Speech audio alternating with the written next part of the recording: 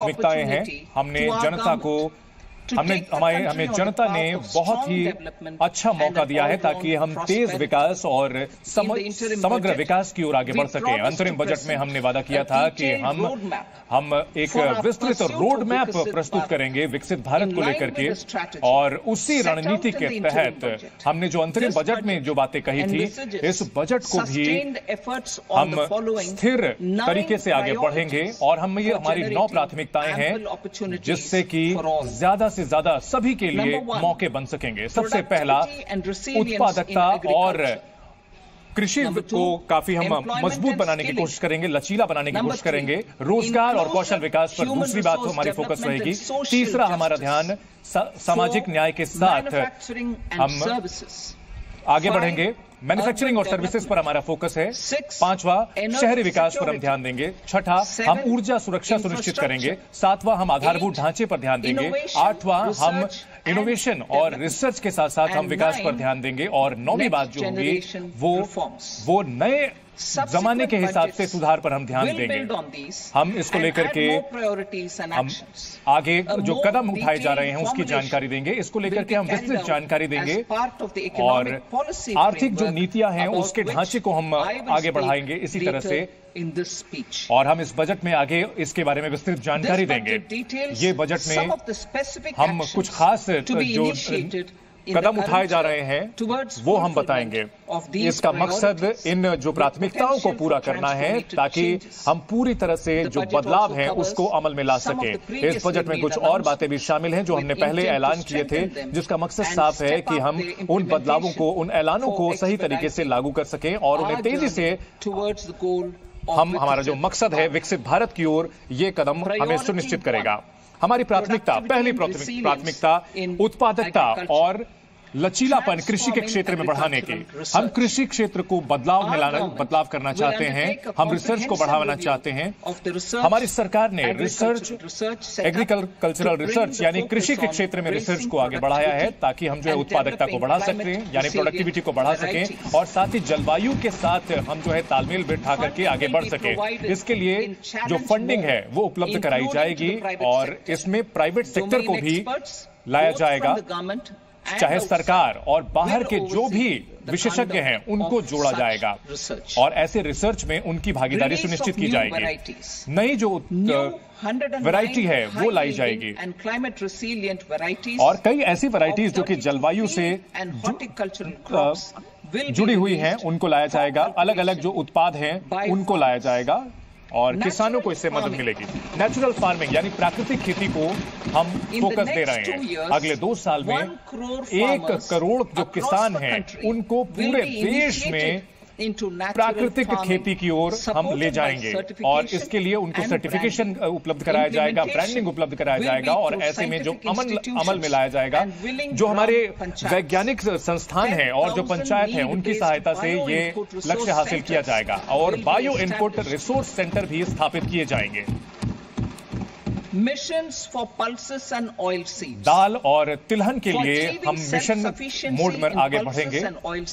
हमारी कोशिश होगी कि तिलहन पर हम आत्मनिर्भरता हासिल करें। इसके लिए हम उत्पादकता और भंडारण के साथ साथ मार्केटिंग पर भी ध्यान देंगे। और जैसा कि हमने अंतरिम बजट में इसका ऐलान किया था एक रणनीति को हम आत्मनिर्भरता के ज़रिए हासिल करेंगे। तिलहन जैसे कि सरसों बादाम मूंगफली सोयाबीन और साथ ही सूरजमुखी का उत्पाद जो है इसमें शामिल किया जाएगा। इसके अलावा जो सब्ज़ियाँ हैं उनकी सप्लाई चेन पर भी हम ध्यान देंगे। जो सब्जियों का उत्पादन है उसके लिए क्लस्टर बनाया जाएगा। और ऐसे में ध्यान रखा जाएगा कि जो अधिक उत्पाद वाले क्षेत्र हैं उन पर उनके नज़दीक होगा। हम इसमें कोऑपरेटिव को जोड़ेंगे स्टार्टअप को इसमें जोड़ेंगे और ताकि सप्लाई चेन को मज़बूत किया जा सके ताकि जो भंडारण और संग्रहण है, वो सही तरीके से किया जा सके। और कृषि के लिए डिजिटल पब्लिक इंफ्रास्ट्रक्चर बनाने पर हमारा फोकस रहेगा। और हमने इसको लेकर जो पायलट प्रोजेक्ट शुरू किया था, वो काफ़ी सफल रहा है। और हमारी सरकार, जो कि राज्यों के साथ साझेदारी करके इसे सुनिश्चित करेगी कि डिजिटल पब्लिक इंफ्रास्ट्रक्चर को मज़बूत किया जाए, खासतौर पर खेती में। और इससे किसानों को, उनके जमीनों को तीन साल के लिए जोड़ा जाएगा। इस साल की अगर बात की जाए तो डिजिटल क्रॉप सर्वे खरीफ के लिए कराया गया है। और इसको 400 जिलों में इस साल इसे लागू किया जाएगा। 6 करोड़ किसानों को इसमें शामिल किया जाएगा और उनके उत्पाद को लाया जाएगा। फार्मा और लैंड की जो रजिस्ट्री है उसमें इसे शामिल किया जाएगा। किसान क्रेडिट कार्ड जन जनसमर्थ किसान क्रेडिट कार्ड की सुविधा उपलब्ध कराई जाएगी पाँच राज्यों में।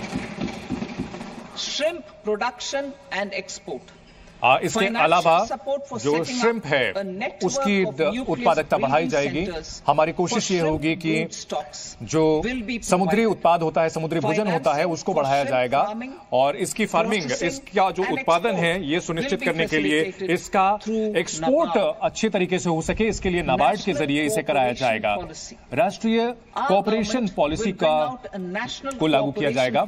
हमारी सरकार एक राष्ट्रीय सहयोग नीति लाएगी ताकि सही सही तरीके से और सही समय पर विकास किया जा सके, जो भी सहकारी समितियाँ हैं, सहकारी क्षेत्र है उसका, विकास हो सके और जो ग्रामीण अर्थव्यवस्था है उसको तेज़ी से बढ़ाया जा सके, जिससे कि रोज़गार के मौके बन सके बड़े पैमाने पर the ये सुनिश्चित किया जाएगा और ये हमारा लक्ष्य होगा। इस नीति का लक्ष्य यही होगा कि रोज़गार के मौके हों और इस साल के लिए हमने एक दशमलव पाँच दो लाख करोड़ रुपए का आवंटन रखा है कृषि और इससे जुड़े हुए क्षेत्रों के लिए। प्रायोरिटी टू और इसमें हमारी दूसरी प्राथमिकता होगी कि रोज़गार और कौशल विकास ऐसे रोज़गार जिससे कि एम्प्लॉयमेंट लिंक इंसेंटिव दिए जाएँगे। हम तीन स्कीम्स को शुरू करने जा रहे हैं जिससे कि रोज़गार का मौका अगर बनता है तो उससे फ़ायदे मिलेंगे। और इस सम का ईपीएफओ में जो कि निबंधन होता है इस पर हमारा फोकस रहेगा। और पहली बार जो लोग रोज़गार पाएँगे उन्हें इसमें शामिल किया जाएगा और इसमें जो नियोक्ता है उनको भी शामिल किया जाएगा। पहला पहली जो स्कीम है इसमें फ़र्स्ट टाइमर स्कीम है। इसमें- जिसमें सभी- newly entering the workforce जो लोग पहली बार कार्य क्षेत्र को ज्वाइन कर रहे हैं जुड़ रहे हैं उनको एक महीने का वेतन दिया जाएगा। और ये सभी सेक्टर्स में लागू किया जाएगा।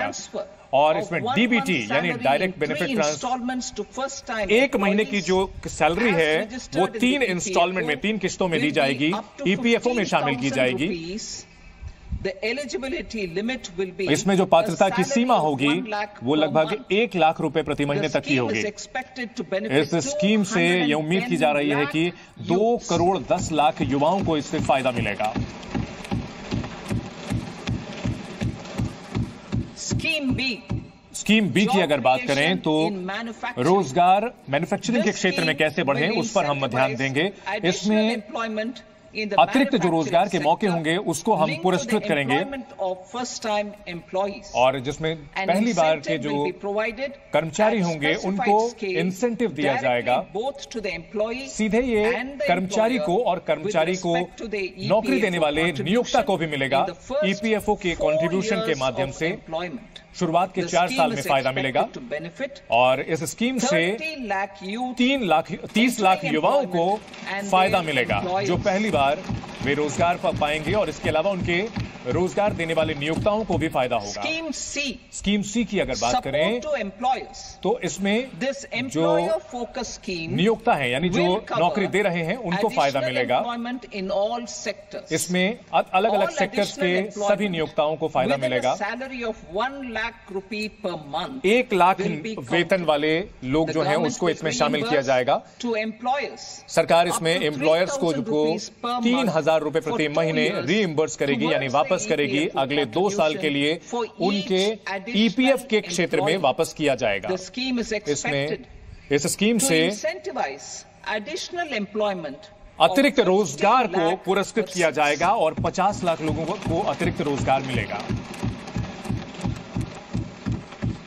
पार्टिसिपेशन और इसमें जो महिलाओं की भागीदारी कार्य क्षेत्र में बढ़ सके। हम ये सुनिश्चित करेंगे कि महिलाओं की भागीदारी काफ़ी ज़्यादा बढ़े। इसके लिए हम विमेन्स हॉस्टल बनाएँगे। इसके लिए हम जो इंडस्ट्री है उनके साथ सहयोग करेंगे। इसके अलावा जो बच्चों के लिए क्रच होते हैं वो भी बनाए जाएँगे ताकि हम महिला महिलाओं को केंद्र में रखकर के उनका कौशल विकास भी करेंगे ताकि महिलाओं को एस एच जी जो होते हैं सेल्फ हेल्प हेल्प ग्रुप होते हैं उनको जोड़ा जाएगा मार्केट से। कौशल विकास की जो योजनाएँ हैं उस एक नई केंद्र द्वारा स्पॉन्सर स्कीम की हम घोषणा कर रहे हैं और हमें काफ़ी खुशी हो रही है और ये प्रधानमंत्री के इसमें कौशल विकास के साथ साथ सहयोग की बात की जा रही है। इंडस्ट्री के साथ जुड़ेंगे। इसमें 20 लाख युवाओं को का कौशल विकास होगा अगले पाँच साल में।